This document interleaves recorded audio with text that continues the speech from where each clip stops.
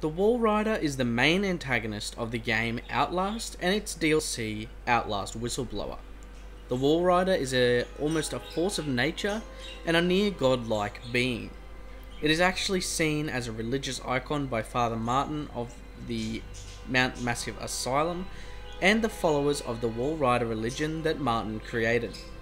The Walrider also seems to cause much of the insanity within the facility, coming in a close second to the morphogenic engine.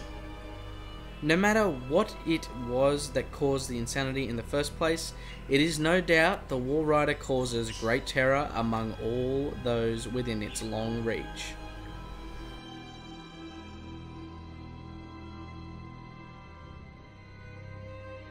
The Walrider is a very ghost-like entity and it is actually a swarm of nanoscopic machines or nanites.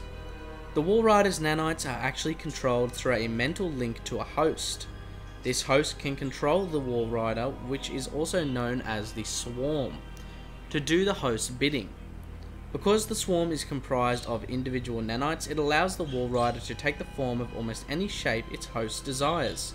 It also means that the host can dematerialize its form, moving through very small areas that are, at the very smallest, 1 nanometer thick. Even though the Walrider can take almost any form, it generally takes humanoid appearance, as seen as a black clouded silhouette muscular man. The swarm can also be spread out in the air in order to basically become invisible to the human eye.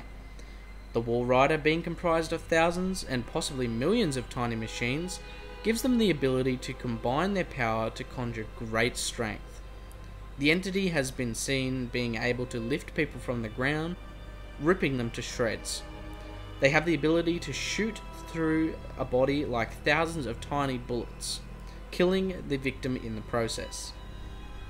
The Walrider is unmatched and the creature appears to be nearly unbeatable. It rivals the strength and power of even Chris Walker, cementing the entity's place above all other variants in the Mount Massive Asylum. The Walrider, as stated, is able to dematerialize and reform with ease, which can assist with its pursuit of its victims, giving it the ability to phase through most doorways, cracks in walls, etc. About the only thing that can halt the swarm's advance is the decontamination hallway sections, which for some reason the Walrider does not dare enter. It is possible that these stations are able to destroy the nanites, or somehow shut them down, or disrupt the mental connection between the host and the swarm.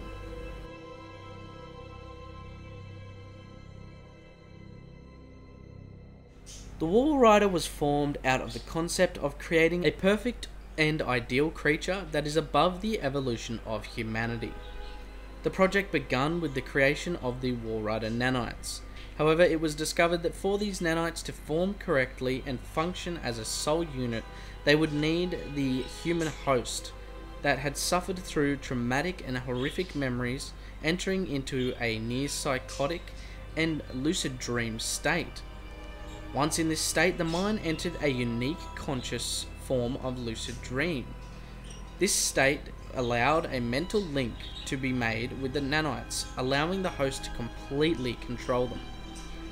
This process, known as Project Walrider, was undertaken by the Murkoff Corporation using research done by German scientists in World War II and Alan Turing.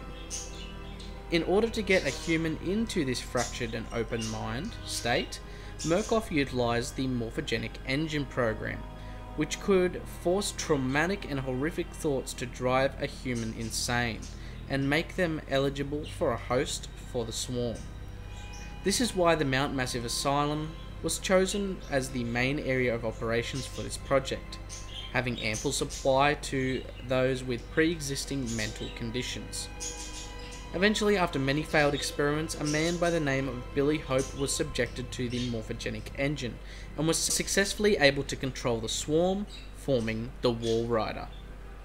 He was forcibly placed into a containment sphere where he could focus on controlling the swarm and nothing but. The catch was that a fractured mind was needed to control the swarm. This caused a massive situation in the facility that got out of control very fast.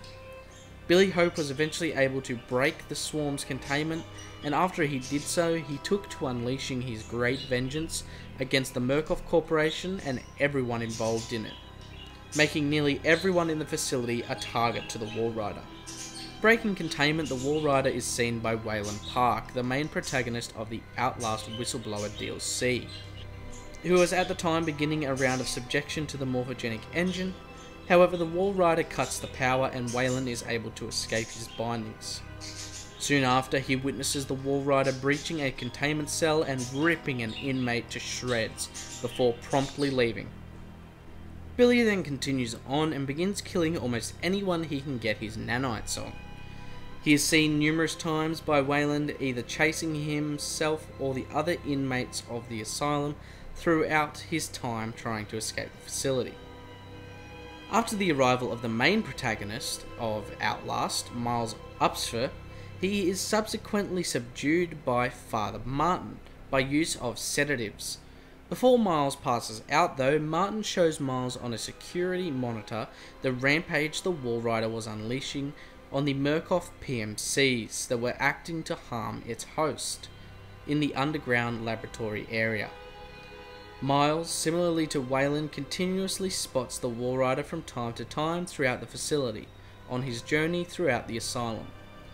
Eventually, Miles is able to reach the underground area of the facility and finds the torn apart bodies of the PMCs he had seen earlier on the security cams. Soon after, the Walrider gives chase to Miles, who eventually, when trying to evade his attacks, runs into the variant Chris Walker, who goes to kill Miles, but not before being viciously attacked by the Walrider itself.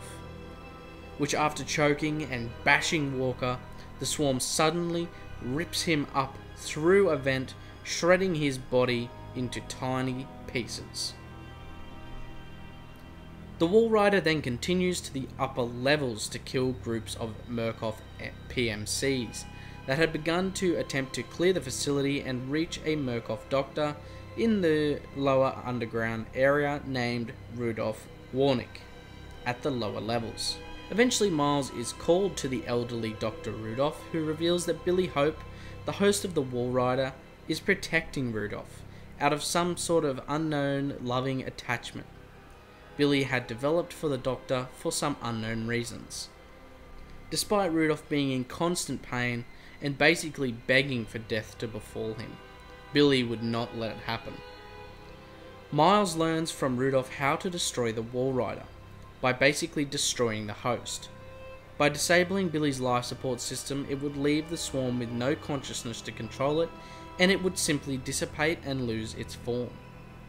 In the meantime, while Waylon Park was fighting off Jeremy Blair to escape the facility, the Walrider makes an appearance, and much like Walker before Blair, is violently ripped apart by the swarm of nanites which had entered his body and torn him piece from piece, from the inside out. This gave Waylon an opportunity to escape while the Walrider was distracted killing Jeremy. However, straight after killing Jeremy, the Walrider notices something wrong. Back underground, Miles successfully shuts off Billy's life support as Billy begins to die. The Walrider swarm becomes frantic, and it seems that somehow the swarm had taken on the memories and personality of Billy. The swarm, after a quick struggle, is able to infect Miles in the meantime, and survives as using him as a new temporary host. However, the swarm was independent from Miles, unlike it was from Billy. The Walrider now is an entity all of its own, fused with Billy's consciousness, and now using Miles as a host, as it appears that despite having its own consciousness, it still needs a host to hold its physical form. Miles, now severely wounded by the ordeal, limps to try and escape the facility once again. However, he is confronted by the Murkoff's PMCs and Dr. Rudolph.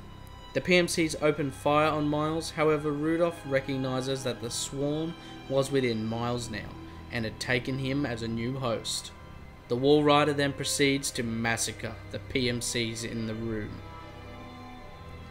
Shortly after these events, Waylon is making his way to Miles's jeep at the entrance of the Mount Massive Asylum.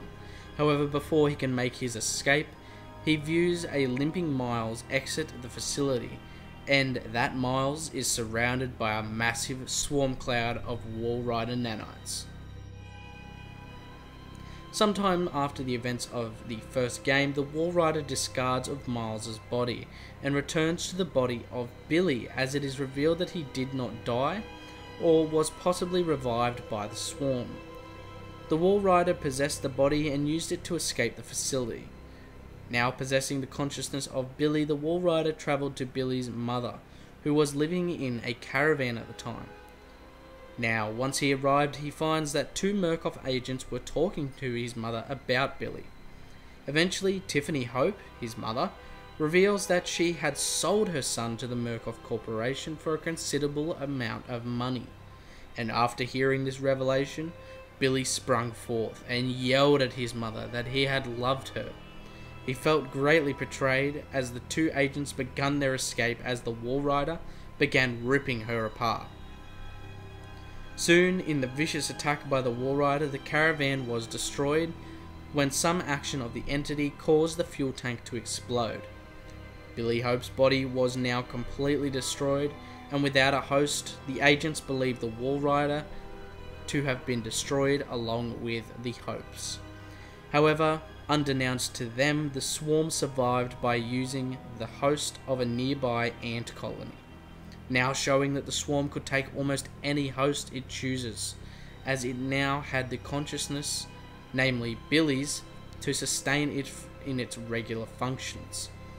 The Walrider, now with no family and no purpose in life, chose to continue its rampage on the Murkoff Corporation, destroying as many people, places, and things associated with this highly unethical and borderline evil company.